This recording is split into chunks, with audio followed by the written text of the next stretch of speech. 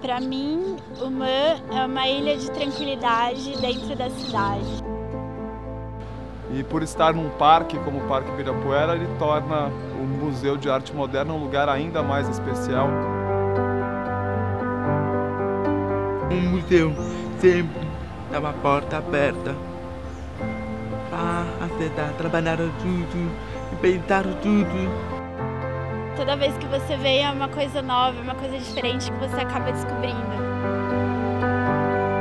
O MAN é a reunião de todas as coisas que eu sempre amei num lugar só. É um lugar que me inspira e me surpreende toda vez que eu venho. Tem uma relação muito próxima de, de pessoas, espaço, natureza.